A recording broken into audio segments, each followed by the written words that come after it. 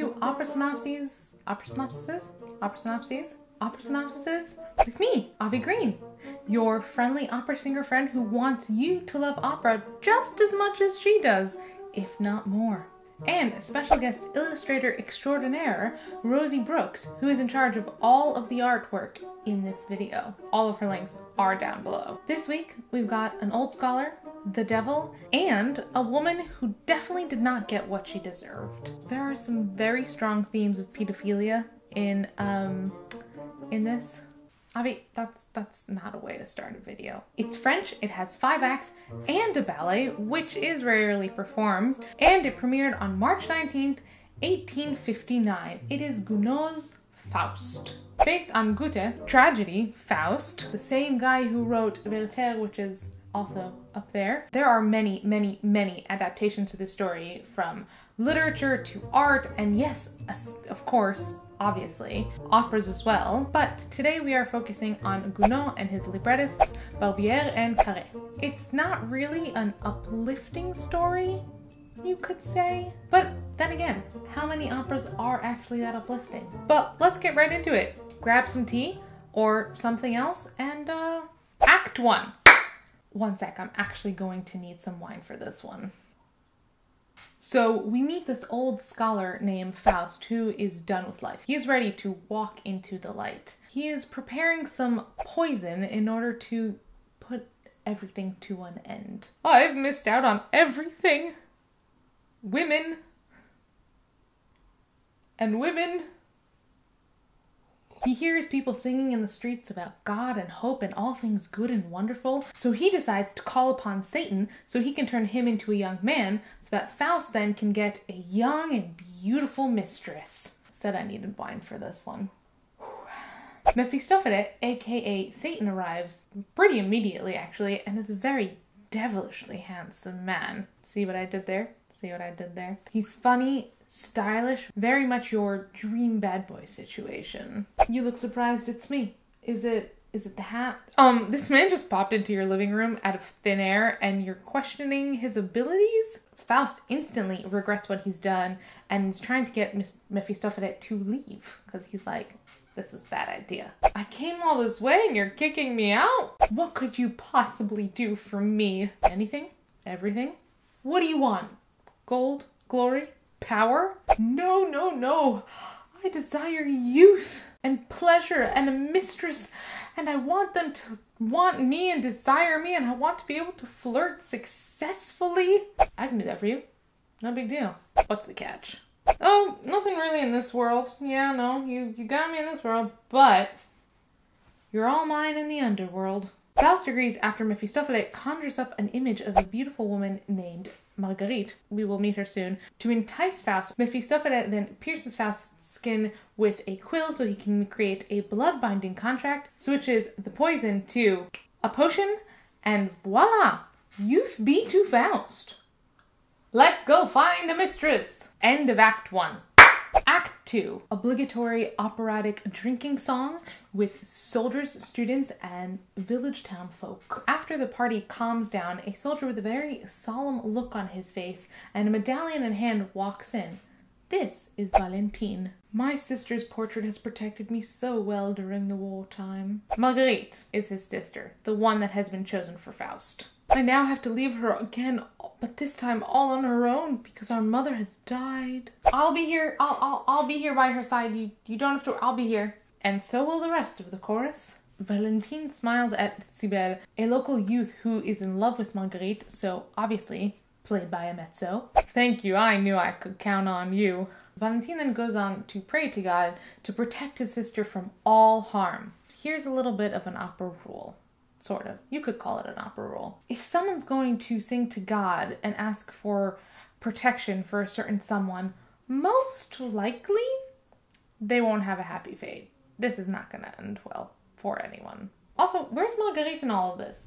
The real one, not the projection. Mephistopheles arrives and sings a wonderful ballad about the golden calf. And being the devil that he is, he creates a wonderful party that everyone seems to really be enjoying themselves, and especially his wonderful song. Bravo! Bravo! You know when you're at a party with everyone that you know, and then someone that you don't know arrives and kind of hijacks the whole party and makes it all about them? Well, if you don't know what I'm talking about, you're about to find out. Once he is done with the song, he decides to piss everyone off and start palm reading. Why would you palm read at a party? Are you some kind of sorcerer? Nah, but I can tell you that your palm will not be able to touch a flower without it wilting, so say goodbye to all those wonderful bouquets you leave for your dear friend Maggie. And you, sir, will die by the hand of an enemy, but not at battle. Great palm reading time. That's called having the devil on your side. Wait, how do you know my sister? Valentine decides to draw his sword because obviously that's the best idea to do in any scenario. But Mephistopheles just laughs at him, and within seconds, Valentine's sword shatters into many different pieces.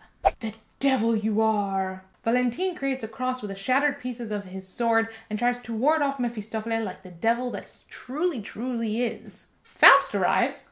Where has he been this entire time? Where is she? That beautiful, lovely child you showed me in my office. Yeah, she certainly is a child, and you are an old, old, old man. Mephistopheles tells him to wait patiently, and she will be here very, very soon. She is a young, virtuous, lovely, kind, beautiful young woman. Siebel arrives, letting everyone know that Marguerite is almost here, like the Beyonce she truly is, but is quickly intercepted by Mephistopheles, who's making way for Faust in order to make his own moves. Lovely lady, would you like my arm to help you get to where you need to go? No, that's that's a terrible pickup line. Ah, I am not lovely, I am not a lady, and I do not need your arm to help me.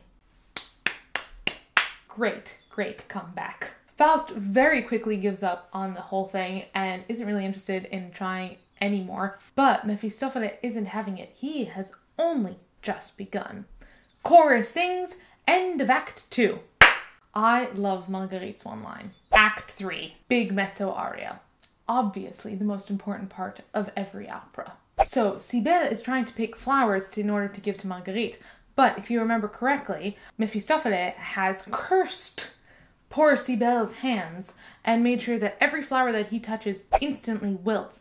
But, but, Siebel, being the clever lass, sorry, lad that he is, finds some holy water, washes his hands, and is able to finally pick flowers and leave them for Marguerite. I mean, he is picking them from her own garden, so she would have them anyway. But it's it's the thought that counts. Mephistopheles and Faust are in the corner watching all of this happen, and Mephistopheles tells Faust, Don't worry. Siebel would look like a mere child next to what I have planned. He is a child. Stay here. I'll be right back. Time for an aria. Beautiful child. A love has filled me, yet I have not spoken to you yet. I don't I don't mean to harp on this child thing too much, but he does constantly remind us that she is a child. Now, he, Faust, is an old man in his like 50s and 60s. Well, old man for that time. Marguerite's like 15 or 16. Max. Never mind. Never mind.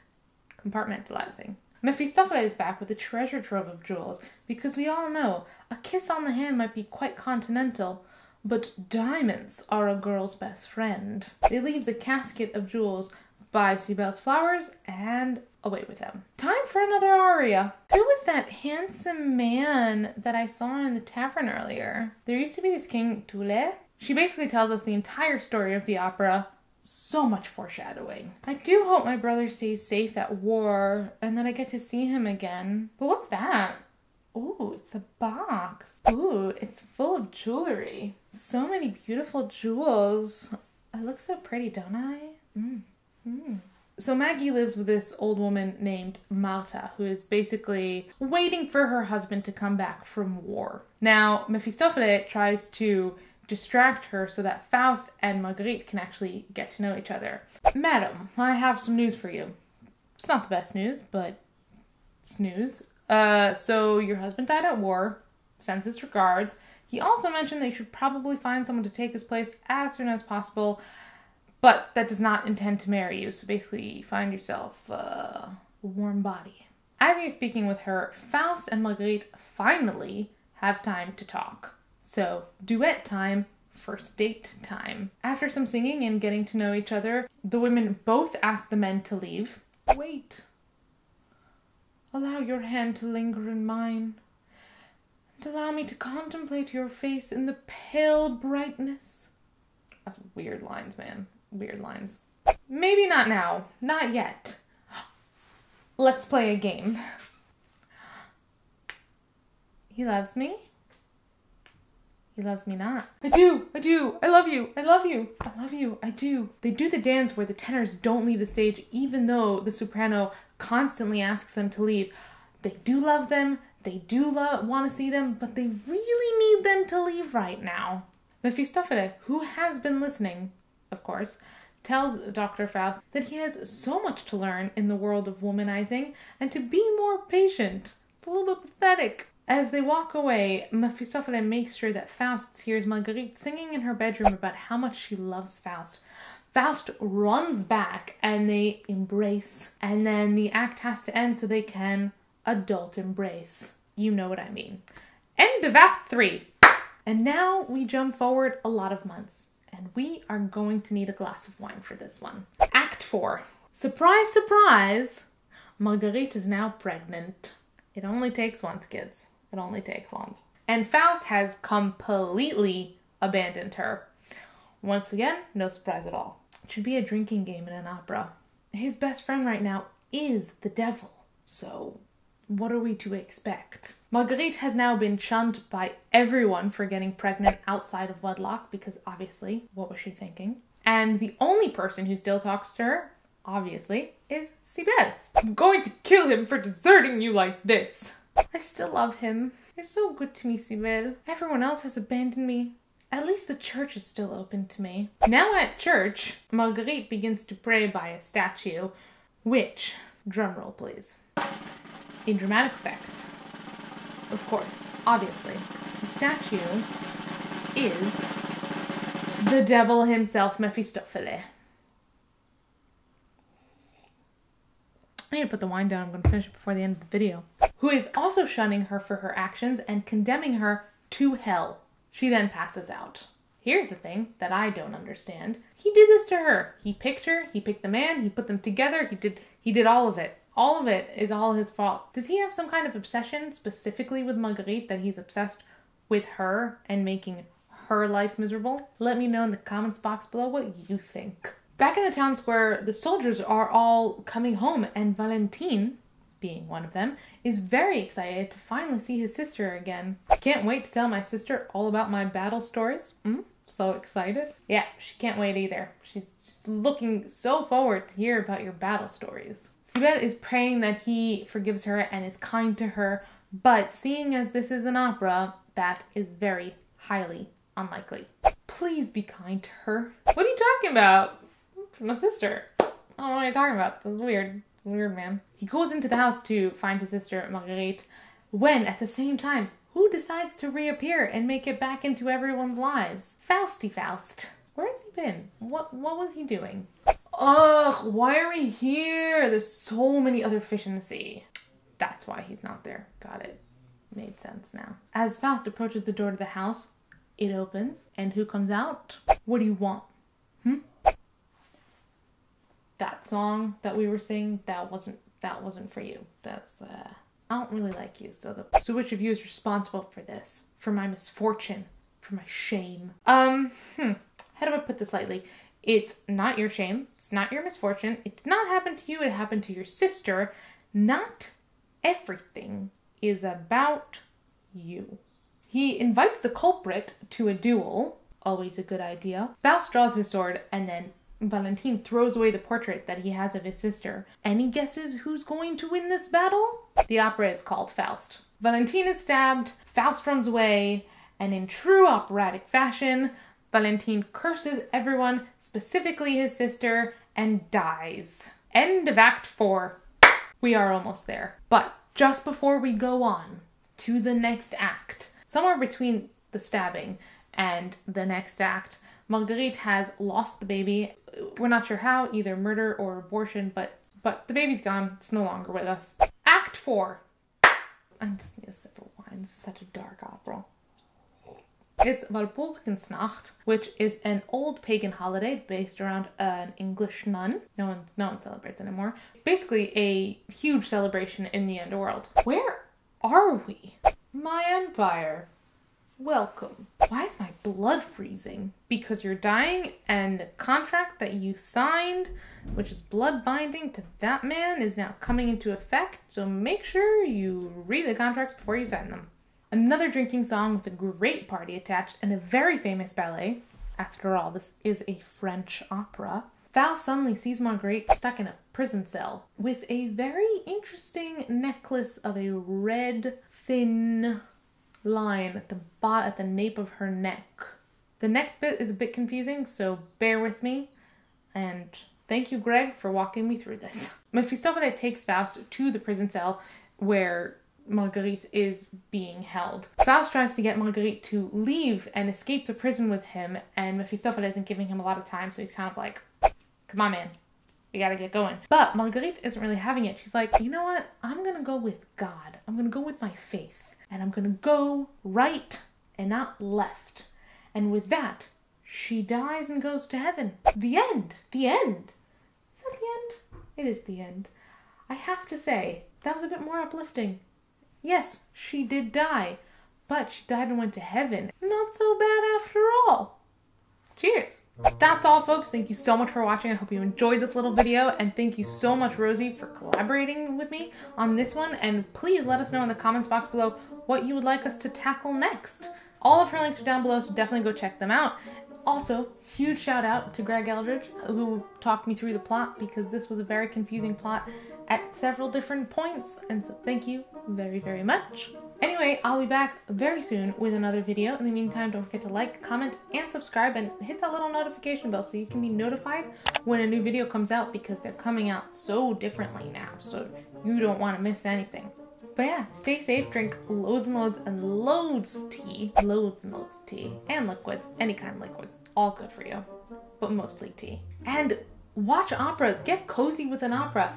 Go see an opera in your living room. There's so many options right now. Don't let the theaters being closed stop you from doing so. L let me know what you decide to see. Use the hashtag Diva Studies so we can all be watching together, studying those operas together. Anyway, don't make deals with the devil. Bye bye.